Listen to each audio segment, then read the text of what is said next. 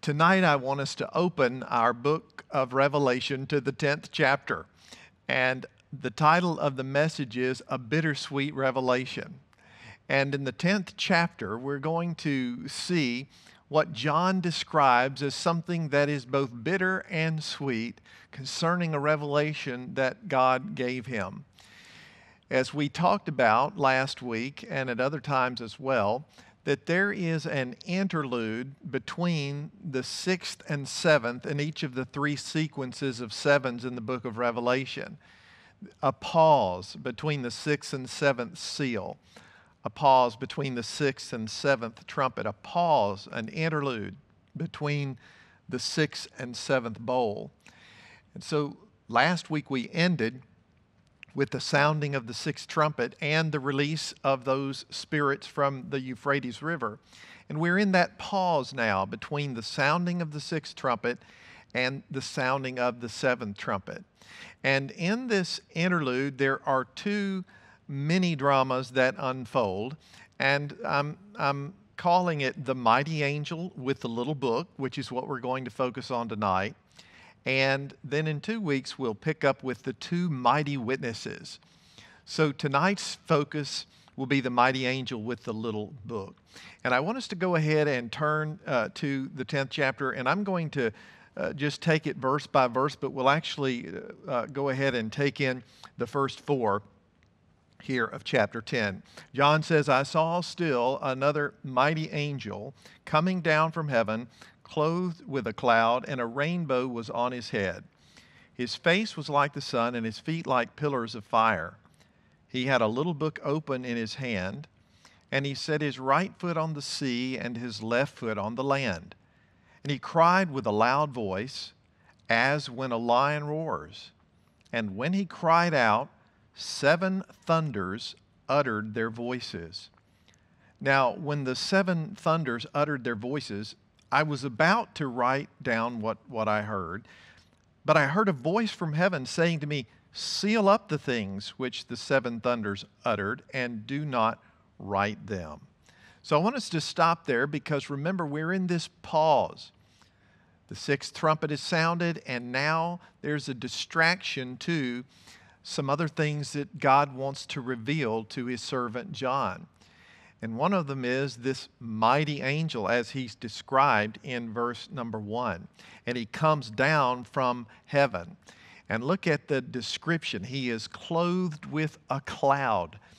And as you know, a cloud is a symbol of God's presence.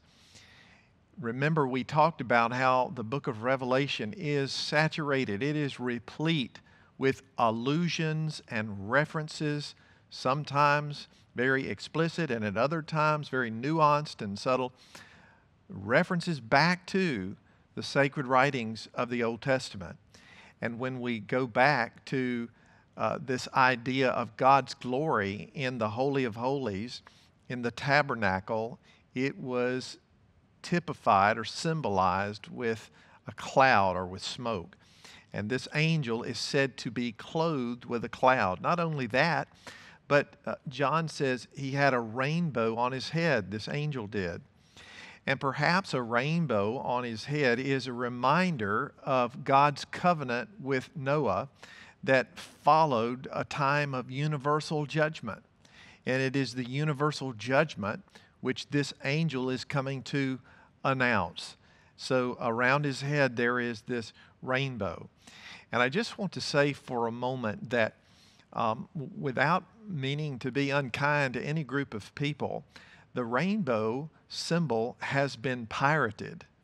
The rainbow was God's sign, and God set it as a sphere around the universe to reflect like a prism the rays of the sun's light through the moisture in the earth's atmosphere.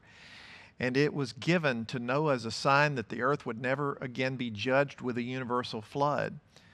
And even that as a symbol is a message of God's mercy, but the mercy of God followed the judgment of God.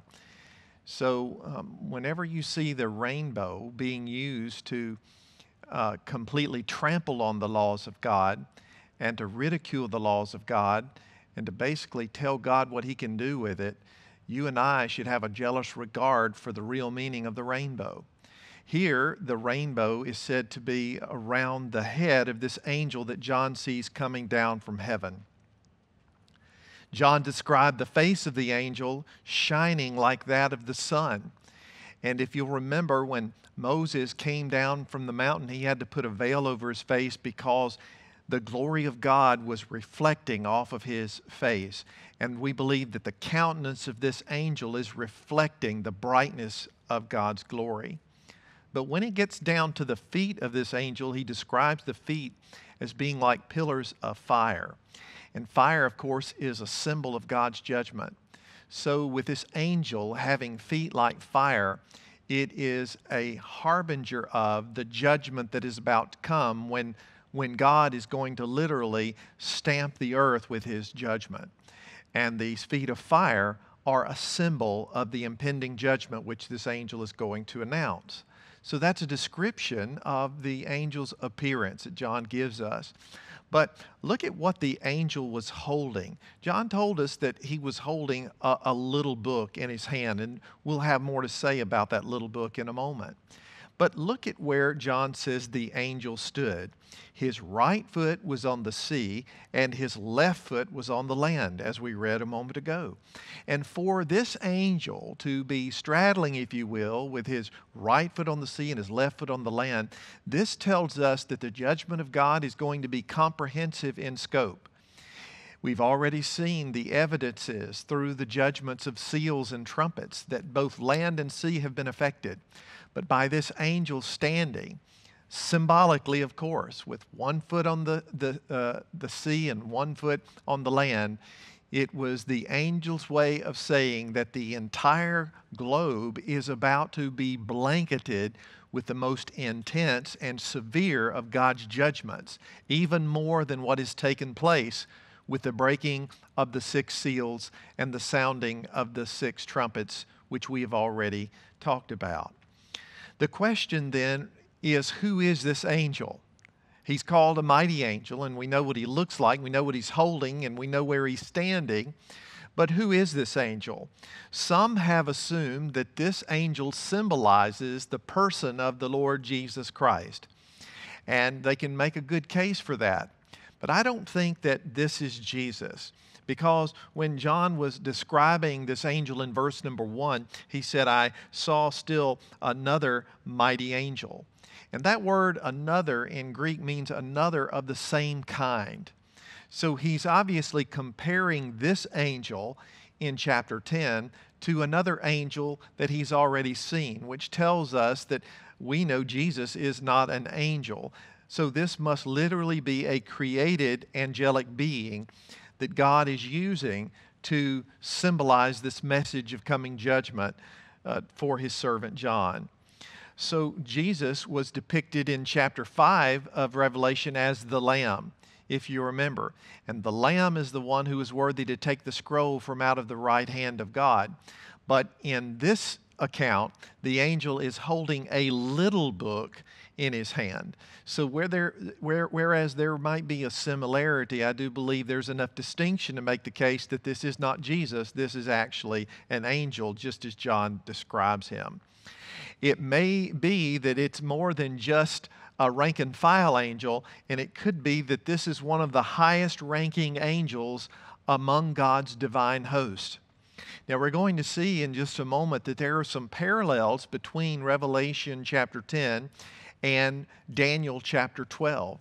And Daniel chapter 12 begins with a reference to Michael the archangel, who we know to be one of God's chief uh, messengers, one of God's highest ranking created beings. So, you know, it's just interesting to compare the 12th chapter of Daniel with the 10th chapter of Revelation, and it builds the case even more that this is an angel and not the Lord Jesus Christ. But when we were reading, as we saw in verses 3 and 4, it says that after this angel, this mighty angel, cried out, his cry being compared to the roaring sound of a lion, After the cry of this angel like a lion, John describes in verse 3 that he heard the sound of, of seven thunders.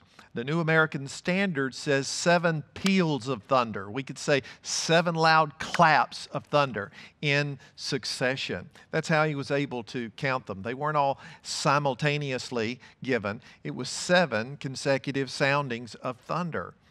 And according to John, these seven peals of thunder were actually intelligible voices, which lets us know that John understood these voices to be communicating a message and he knew exactly what they were saying. Now, step back for a moment and realize how many peals of thunder did he hear after this mighty angel cried out? He heard these seven peals of thunder and they communicated a message to him. And there's that number seven again the number of completion, the number of totality, the number that we find woven throughout the book of Revelation.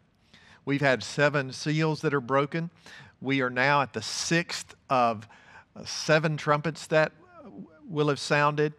And in this pause between the sixth and seventh trumpet, John hears a message through yet seven claps or peals of thunder. And the reason we know he understood the message, as you'll recall when we were reading it, John tells us he was about to write down what he heard in those voices of the seven thunders but a, heavenly voice told him not to write it down.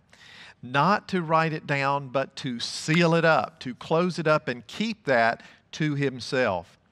And this is a reminder to us that although God allowed John to understand the mystery communicated through those seven peals of thunder, there are certain messages and certain mysteries and certain realities which God reserves unto himself. If you'll remember, Jesus even said, Of that day and hour, no one knows except the Father. So Jesus even taught us that it is the Father's prerogative to keep information to himself. It is the Father's prerogative to reveal to certain people information that he does not reveal to other people.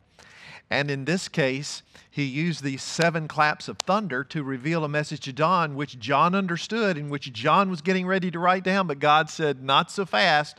I only want you to understand the message you heard in those seven peals of thunder. so, what does that mean? It means that for the 2,000 years that people have been reading the Apocalypse, the book of Revelation, uh, we have all been, as students of this book, left in the dark as to this message that John was not allowed to write down, which was conveyed through these seven peals of, uh, of thunder when we were reading it, this voice from heaven that spoke to John said, Do not write them. Look at the last part of verse 4 seal up those things which the seven thunders uttered. Now, what I want you to do is to notice the similarity between the fourth verse of Revelation 10, where John was told, Seal up the message, close, put, put it in the container, put the lid on it put a vacuum seal on it. You can't write down, you can't share what those seven claps of thunder communicated to you. But when we go to the 12th chapter of Daniel, which I mentioned earlier, Daniel was told in, in, in Daniel 12 and verse 4, but you, Daniel, shut up the words and seal the book until the time of the end.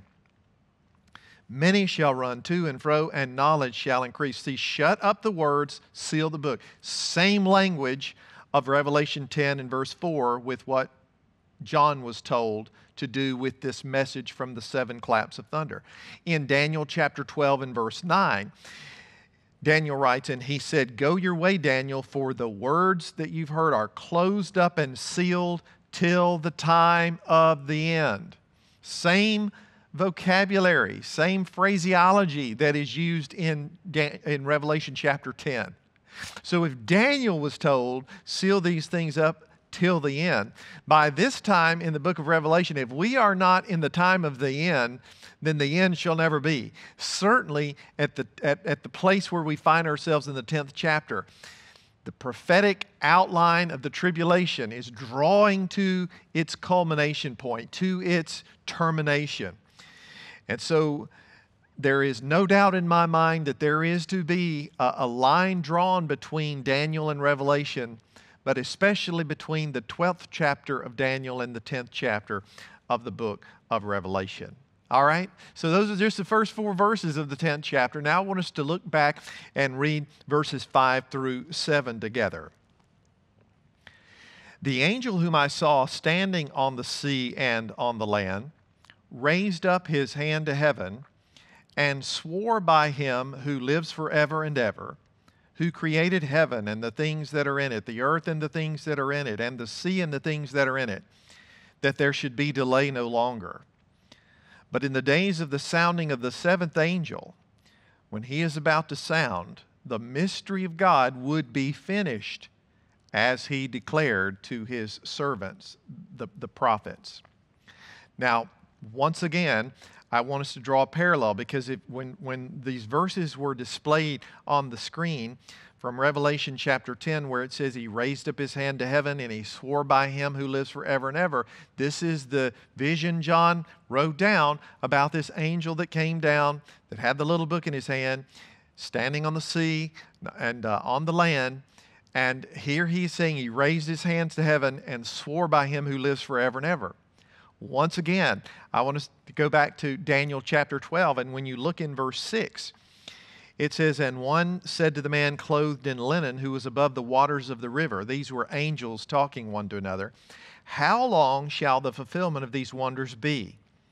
And in the seventh verse of Daniel chapter 12, Daniel says, I heard the man clothed in linen who was above the waters of the river when he, look at this, held up his right hand and his left hand to heaven. And what did he do? He swore by him who lives forever that it shall be for a time, times, and half a time, which is three and a half.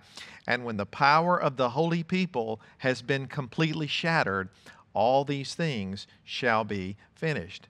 Now, we'll eventually revisit this later in the book of Revelation. The only reason I wanted you to see this is because the same thing that this linen clothed angel over the waters of Daniel's vision in chapter 12, raising his hands and, and uh, swearing an oath before the God who lives forever and ever. That's exactly what this angel did, raised his hand to heaven, swore by him who lives forever and ever. Exact parallel. And that's why there is yet another proof as to why we must go back and look more closely at this 12th chapter of Daniel, which we will eventually do in a later study. However, the angel in Daniel, clothed in linen, who swore by him who lives forever, he, he left it at that when he invoked an oath before God. But here in the sixth chapter of, of uh, in the sixth verse of Revelation chapter 10, this angel that John is seeing, he added some declarations to him who lives forever and ever.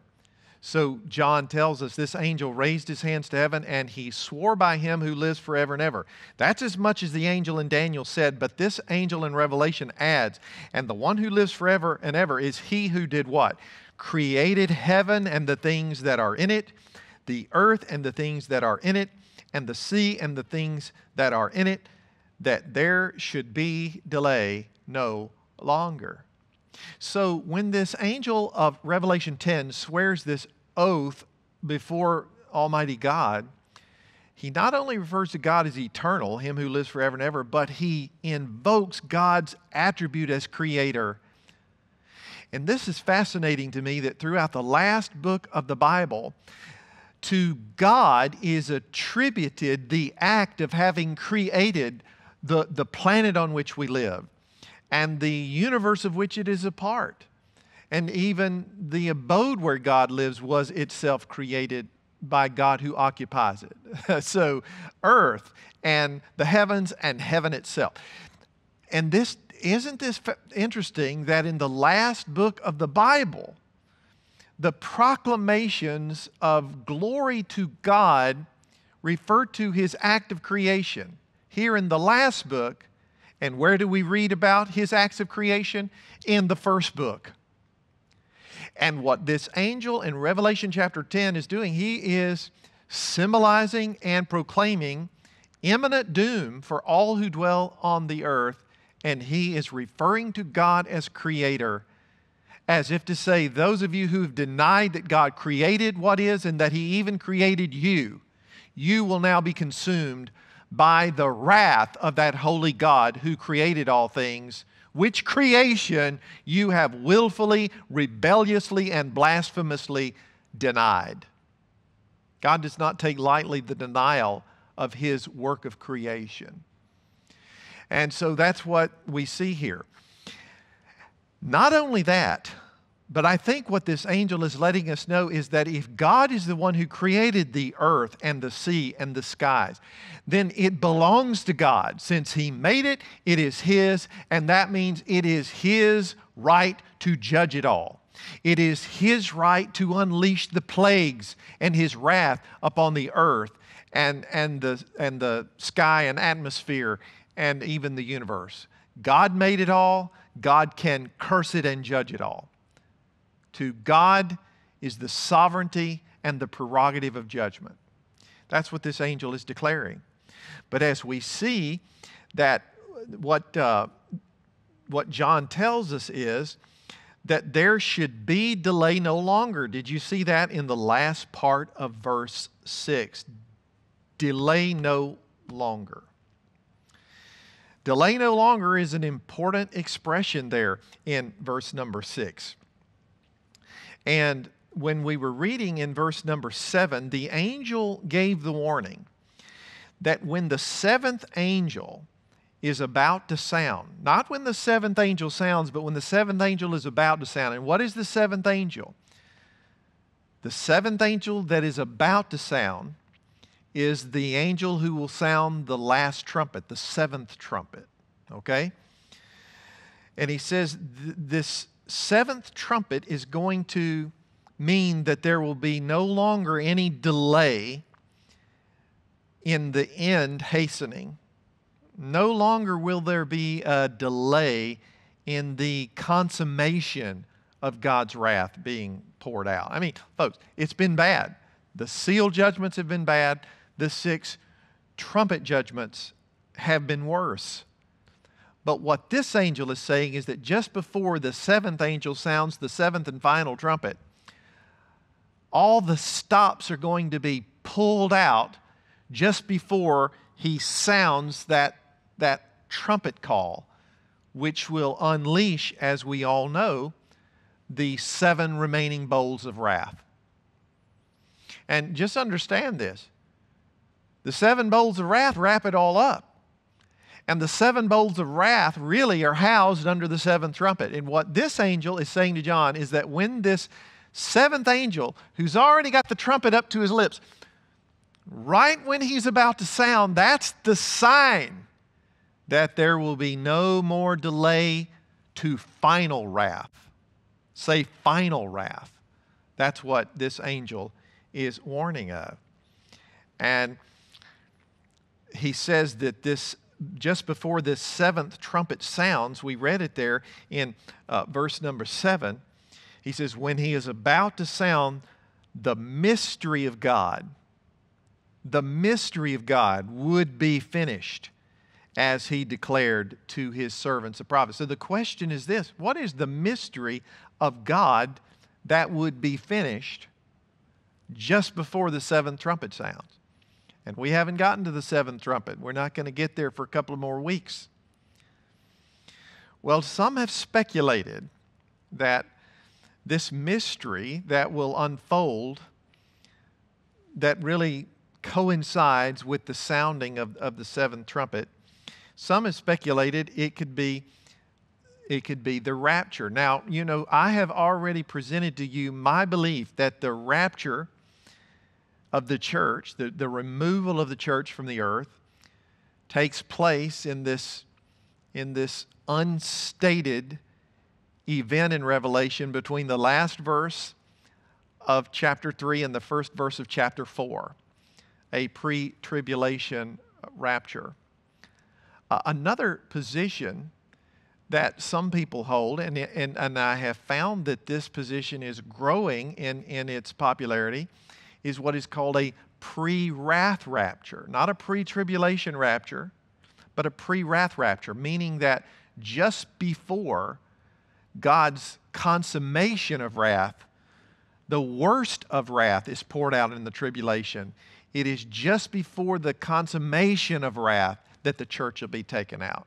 So let me ask you a question. If there are seven trumpets, then the seventh could accurately be called the last, correct? The seventh trumpet, which we're going to see in several weeks, will finally be sounded, and that will be the last trumpet.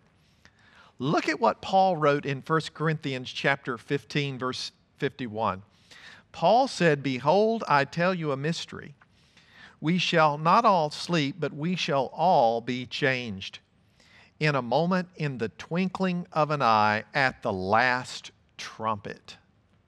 And it is that reference to the last trumpet that some Bible interpreters see being fulfilled here in even what this angel in Revelation 10 is saying to John when he says, When the seventh angel is about to sound that last trumpet, then God's mystery would have come to an end. There would be no more delay.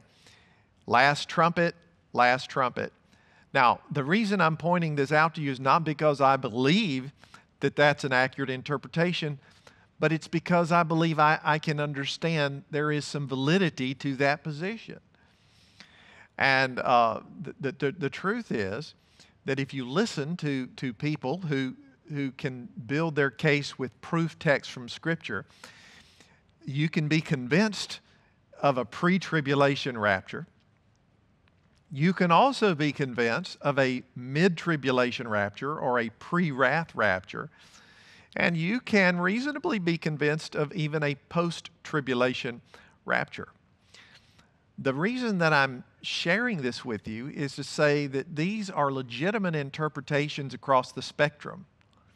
And the fact of the matter is this whether it happens pre, mid, or post in reference to the seven year tribulation, what I do know is that the rapture is clearly taught in 1 Corinthians uh, chapter 15 and in 1 Thessalonians chapter 4. I know the rapture is taught in those places, among other places. So I'm going up in the rapture, whether it's pre, mid, or post, I'm going up. How about you? But I don't believe it's worth squabbling over and fighting over. I think we can have fun trying to convince one another of our differing understandings of the timing uh, of the rapture. But I just thought this was interesting to link the last trumpet Paul refers to in 1 Corinthians 15 with the sounding of the seventh or last trumpet in the seven trumpets of the tribulation. So it's one possibility.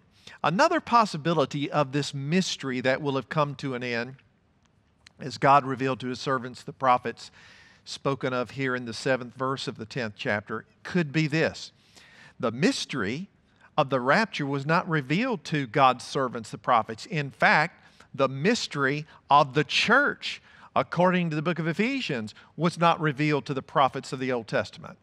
This idea of Jew and Gentile being united in one body under the lordship of Jesus Christ, that was a hidden reality to the prophets of the Old Testament.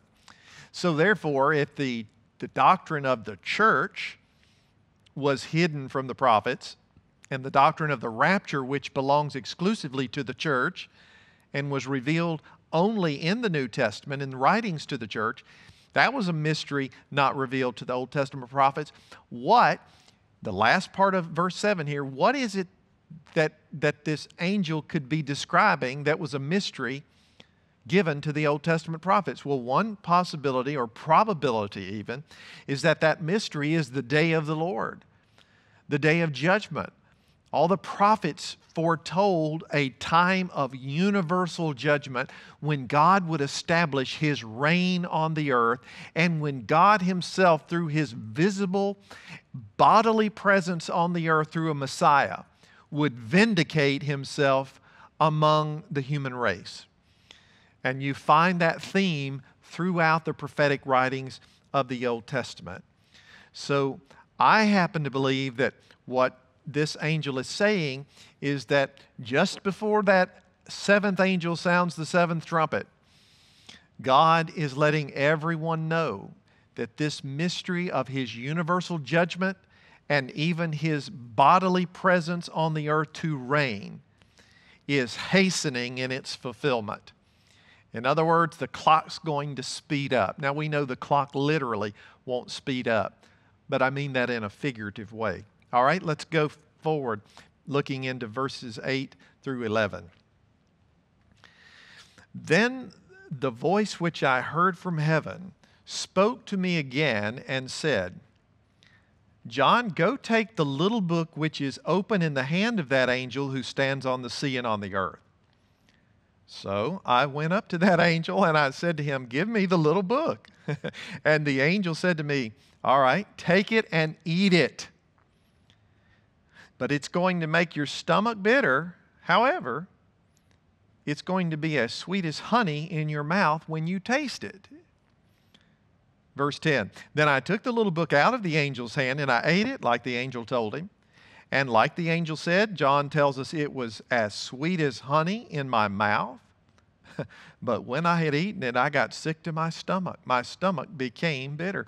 And he said to me, You must prophesy again about many peoples, nations, tongues, and kings.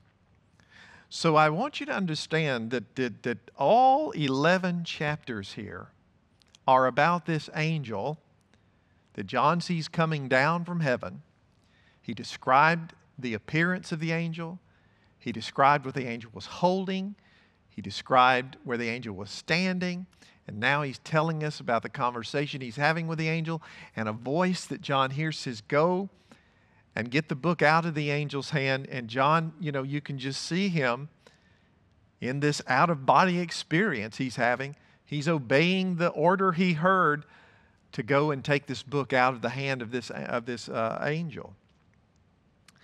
Now, once again, we're going to see that all of this leads us back to the pages of the Old Testament because there was a prophet in the Old Testament named Ezekiel who had a very similar experience.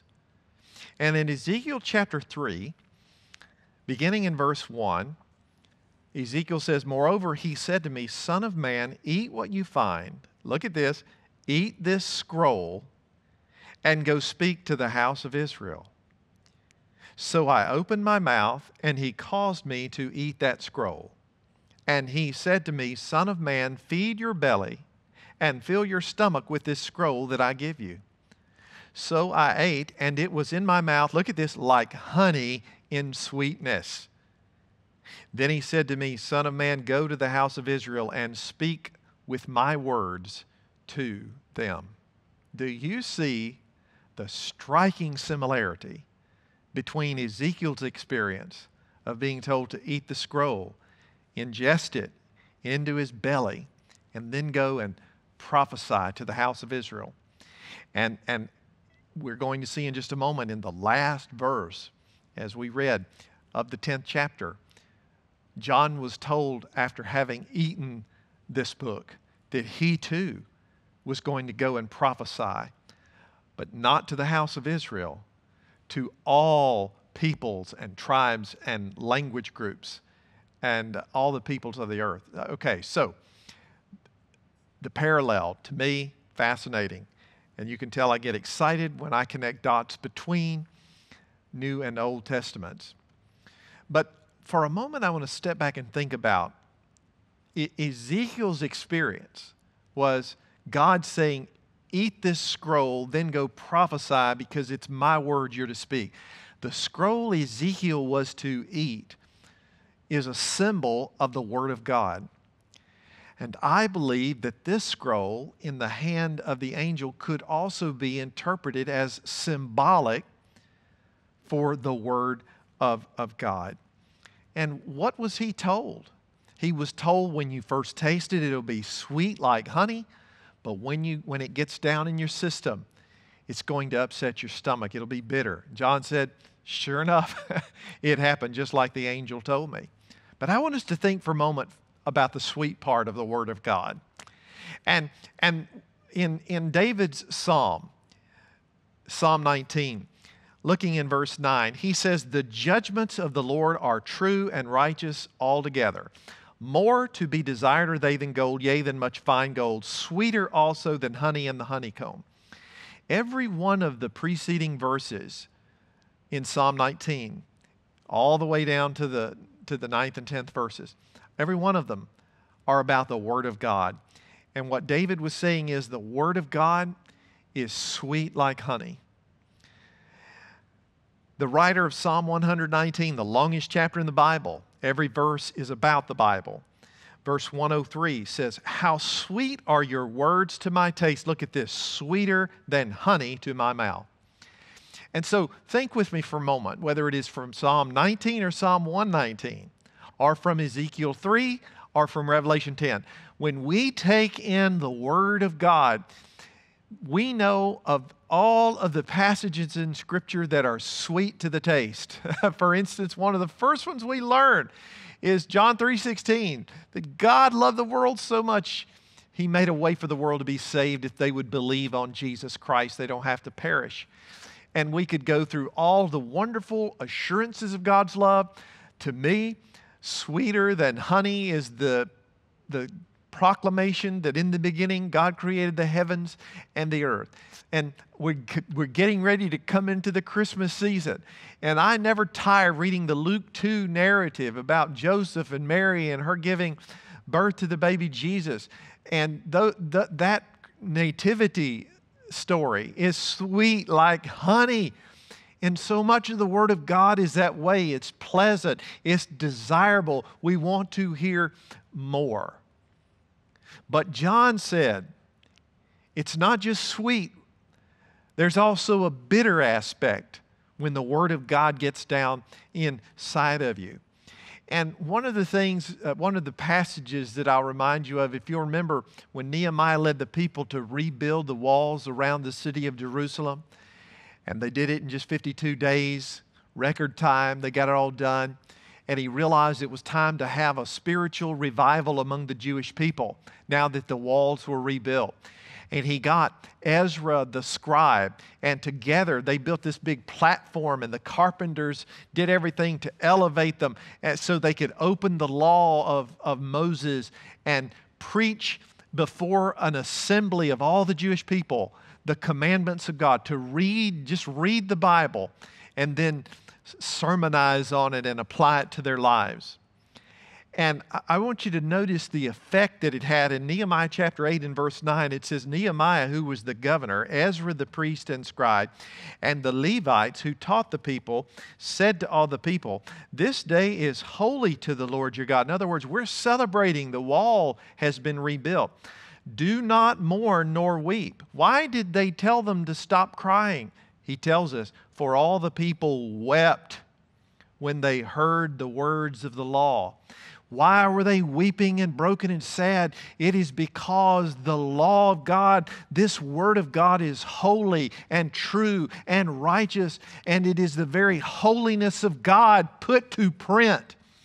And we all know that the word of God is like a sword that slices and cuts and opens up wounds in our lives. The Word of God has a sweet part to it, but the Word of God can, can, can make us ill when it gets to work and it starts cutting out cancerous growths.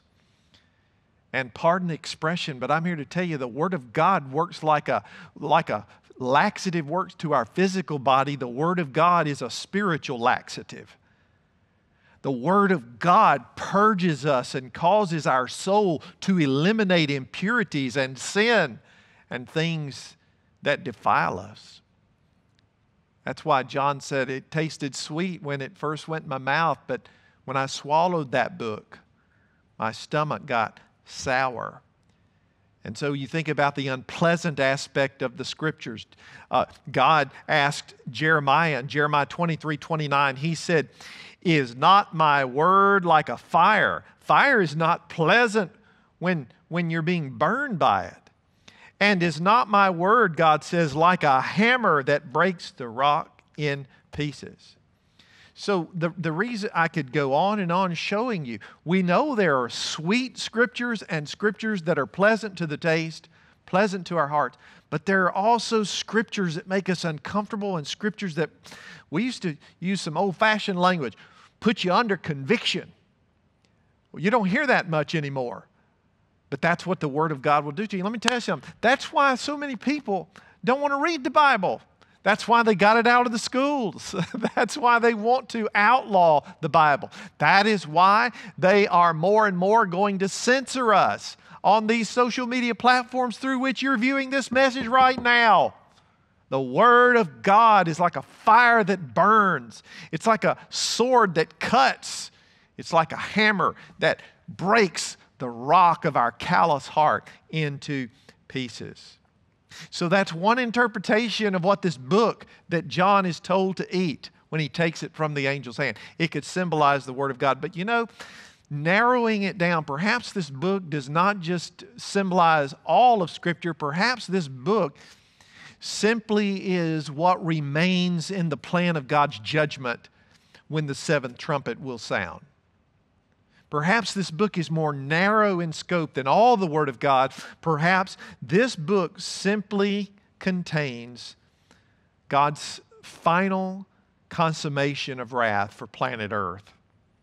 You say, well, if this book is just the summary of what remains in God's wrath, how could that be sweet like honey? John said he tasted it was sweet. Well, it can be sweet like honey because even in God's judgment, God is glorified. That's sweet like honey when God gets the glory he deserves. And do you know what? God not only gets glory through blessing, God gets glory through judging. He is glorified in all that he does. That is sweet. It is sweet because in God's final pouring out of wrath, every saint who's been persecuted or killed, as these tribulation martyrs will have been, will be vindicated by God's judgment. That's sweet when, when God brings justice. Not only that, but, but God's plan of judgment can be sweet to the taste because all evil will be punished. And we live in a world where evil seems to be getting away with evil, where perpetrators uh, and transgressors mock God and seem to be having the time of their lives. But the plan for God's final judgment is sweet because no evil will squeak past his wrath. Not only that, but you know something else that's sweet about the consummation of God's judgment is that in the consummation of God's judgment, we as we will see in the book of Revelation, all Israel will eventually be saved. That is sweet like honey, I can tell you. And you know something else? This final phase of judgment that this seventh trumpet is going to unleash with the seven bowls, this will bring the world closer to the return of Christ and the establishment of his kingdom. Oh, I can see why John said it was sweet to the taste. And then you know why God's consummate judgment can be sweet as well as bitter? It is because when Christ returns to the earth, after God having blanketed the globe with his holy wrath and vindication and justice, in that moment when Christ raises his flag over Jerusalem and summons all the peoples of the earth to worship him by coercion. I'm telling you, the earth will be filled with the knowledge of the glory of God like the waters of the sea blanket this globe. That is sweet. But what is bitter about that? What's bitter about the judgments that are to come is that even though the judgments of the seals and the six trumpets have been severe, they're about to get even more bitter in their severity. Not only that, but the judgments God is pouring out, the judgments that have already taken place, but the judgments that are about to be intensified and taken to an unprecedented level, these judgments are an indictment on the sinful condition of the human race. And you and I, and even John, who started crying back in Revelation chapter 5 when no one was worthy to come take the scroll. John recognizes that human beings are wicked and sinful, and none of us is worthy, and the only thing we're worthy of and deserving of is God's judgment. Are you ever ashamed to belong to the human race when you see what our capacity for evil is? When you see what we do to unborn babies and that we can cast our vote for baby murderers and be proud of it? When you see the way we can treat one another with such contempt and injustice and deprive people of their rights and so many of the atrocities that we've committed in our country against people and that people all over the world have committed one against another. I'm telling you, we realize when we see what people are doing to little innocent children through child abuse and sexual abuse that is rampant now. What I'm telling you is there are no limits to the depravity of the human race. And what this seventh trumpet is going to announce is that everything God is about to do is because humanity deserves to be judged. Humanity deserves to be judged. And we cannot forget this. Another reason that the plan for God's judgment, if that's what this book symbolizes, which John has now swallowed, another reason the plan for God's judgment is bitter once it sets into uh, John's belly is because during the last half of the tribulation, God's judgment is going to be poured out not only on all the peoples of the earth, but God is going to allow the Jewish people to experience unprecedented judgment in the history of their existence.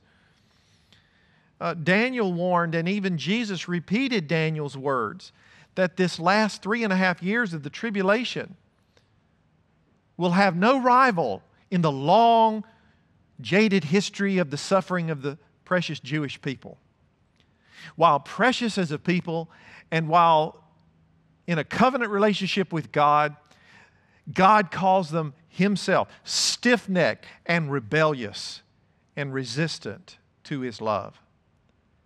And this is what Jesus said about the last half of the tribulation. And he was speaking specifically about those people who live in Judea, the regathered Jewish people the Israel, the people of Israel in the last days. Jesus said this in Matthew 24, 21. For then there will be great tribulation, such as has not been since the beginning of the world until this time, no, nor ever shall be.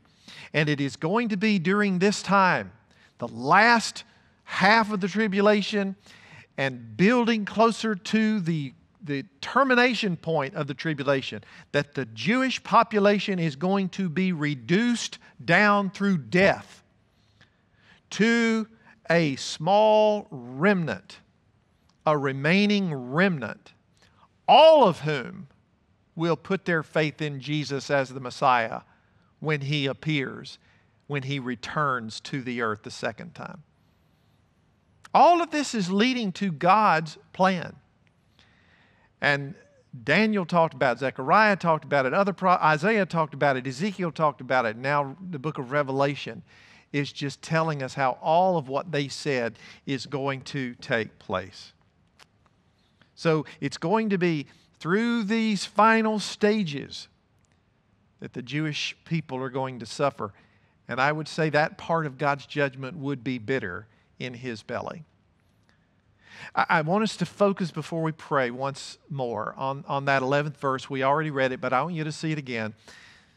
This angel said to me, John writes, the angel told John, John, you, now that you've swallowed that book, you must prophesy again about many peoples, nations, tongues, and kings. Like Ezekiel, God said, Swallow the scroll. Those are my words because I want you to speak my words. John, swallow the book in the angel's hand because I'm wanting you to prophesy about many nations, peoples, tongues, and kings. So I want you to think about verse 11 for a moment because many nations, peoples, tongues, and kings, this has to do with the allied Gentile nations of the end times. And what we're going to see as we continue going through the book of Revelation is that the Antichrist is going to emerge with a clearer identity in the following chapters, but that he is going to be the leader of a global Gentile alliance. He's going to seduce the Jewish people with a promise of peace and protection. But his real strength is going to come from the Gentile nations of the world. That is, all nations except Israel. And this global alliance of nations will eventually, through the lead of this Antichrist, reveal their anti Semitic, that means anti Jewish hostilities. Most especially will this be betrayed or revealed at the midway point of the tribulation, which is what Jesus referred to in Matthew 24.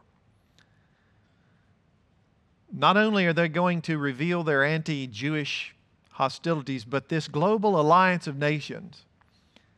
And we're going to talk about in, in, moving into next year, we're going to talk about how all of the collaboration of the media in America and of the tech giants in America that literally have a monopoly on the flow of, and control of information that we receive. The media and the tech giants who control all things knowledge, information, and internet. They, it is unmistakable, especially during this political season, we've seen it. They are all in the sack together. And what we're going to see is that these alliances, and let there be no question as to the worldview of the secular media and the tech giants. Do you believe it's a God based worldview? Do you believe it's a Christ centered worldview? Do you believe it is a worldview with regard for Scripture and the gospel and the church of the Lord Jesus Christ and all of the leftist ideology that they're applauding and they're protecting? Eh, the, the, disagreements with which they are censoring and silencing. I'm telling you, all of this is setting the stage for the one world government of the end times. And when this hegemony is established, this universal grip on power, on control, on the flow of information, which will ultimately lead to restrictions and our access to food and essential items that we need. And having to meet certain conditions in order to have certain goods and services provided for you. We are going to see how all of this is already in place and back to verse 11 of this 10th chapter.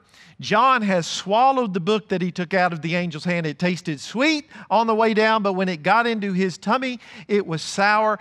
And, and then the last verse is now that you've swallowed the plan of God, you are going to reveal the final stages of God's judgment on the global alliance of Gentile nations. That's all in verse 11. You say, I don't see that in verse 11. That's because you don't, you don't see what you ought to see. Because verse 11 is just the gateway that opens up the rest of the book, and you're going to see it as clearly as you have ever saw it. And in the days of the tribulation, the line is going to be drawn such that there will be only two national entities. There will be the coalesced Gentile nations of the world and Israel. Did you hear that?